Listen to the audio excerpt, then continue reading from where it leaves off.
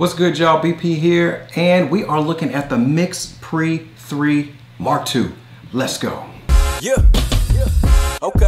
Okay. Okay. Now let's go. it's another exclusive. Uh huh. SOC and Marlo. Let's get it. Let's go. Come on. Yeah. Remember when I just a tadpole. Hey guys, thanks for stopping by for a quick review of the Sound Devices Mix Pre 3 Mark II. I'm pretty excited about this for three reasons really. One, I've heard a lot about these preamps, and the preamps on this are supposed to be really, really good, so I'm interested to hear how that sounds. Secondly, I'm looking to get into podcasting, and going into podcasting is something I've always wanted to get into but never have. And I don't really want to have something I plug into my machine, take away. I might want to be in the field.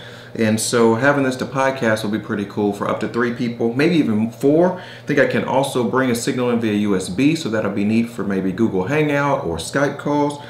And then thirdly, from a field monitor point of view, I'm typically kind of a one-man band when it comes to producing and creating content. So to be able to not have to worry about my levels or at least be able to visually see them is really, really important to me. So putting those three things together is really what's driven me to pick up the sound devices after doing a ton of research. Now my Apogee Duet has served me faithfully. Anyone who knows me knows I cop equipment and will use it till the last drop and so it's still working well. I may use it as a USB interface at some point, but this is the one.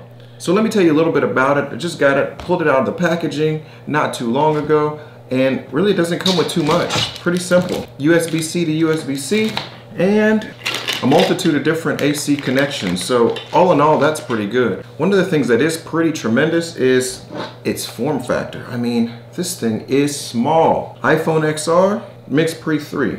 I mean, crazy. And already since I've gotten this in the last couple weeks, it's actually uh, had two firmware releases. So right now it's on firmware release 5.01. So it just continues to be upgraded.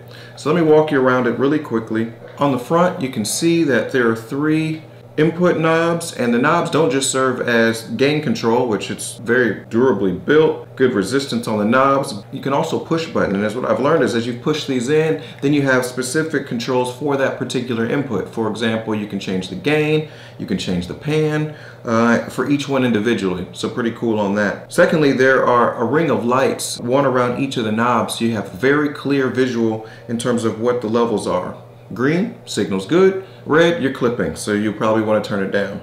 There are limiter functions and all sorts of EQ and that sort of thing. You got simple record, stop, and play on the front as well.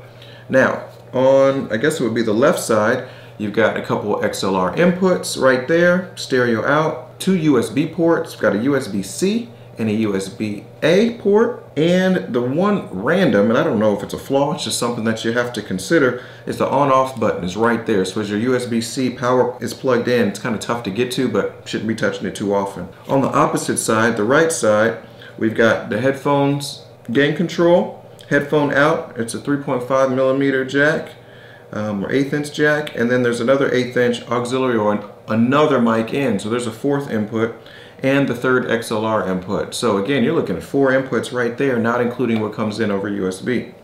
Now on the back, took a minute to realize, but there's also a battery sled here, which just pulls off. Whoa. And you can drop the batteries in there and your SD card slots right there. Another good feature I didn't even mention is that you can record not only output to the camera, for example, using the GH5 now, but you can also have a nice backup situation and uh, record to SD as well. Separate tracks, completely editable and the whole nine. So with that, I will let you hear the sound devices plugged into the NTG2. And by the way, you can have a listen to the NTG2 by Rode, which is what I use sometimes. And it does have a battery phantom power control, but I'm really hyped because this one I can just drive directly there and will be good. I'll put the review up here somewhere. And with that, uh, let's have a listen. All right, y'all, we're doing a quick test. Got the NTG2 and just out of frame. Yeah, that's decent. See, it's right here. Just out of frame. Check one, two. Mix Pre 3 Mark II. Trying to see how the audio sounds in the GH5. Hands up, back and I can't front. These shackles, they ain't much when tackled by his love. I'm free. What kind of theme is this? Hard to understand, but plan to see the king is him now. My routine is just kicking it, Ryu, committed like times two, seeking your fine truth. Acrobatic when he flip it, emphatic with the specifics is tragic when they don't listen. They've had it with these opinions, the truth don't compromise. See, proof is in the eyes, it's fruit, cannot lie. Produce some Clementine salute to him on high. We soldiers and he the general, tried to told you we live for go deep. Woo! Yeah. Boy shop at the finish line, men don't stop to the finish line. Go talk while the still is time. Promote the rock and still it. Boy shop at the finish line, men don't stop to the finish line. Go talk while it still is time. Promote the rock and still it shines. Yeah, check. What? So, what do I think uh, about the Mix Pre 3? I think the Mix Pre 3 is going to work. I think it's going to be dope. I'll use it primarily for field recorder. Pros, sound quality is great, portability is great, perfect number of inputs for me. If you needed more, you could go to the Mix Pre 6. I'm liking what I'm seeing from this. Just have to think about how I'm going to attach this for the rig and get it with my setup. I think I'll use it with my wireless as well if I need to, but it's got the quarter 20 for mounting. I can maybe put a piece of Velcro on the top for anything else and USB powered. So just portability is gonna be great. So with that, uh, appreciate you guys checking me out. Feel free to subscribe, like the video. Thanks, and uh, we'll talk to you the next time.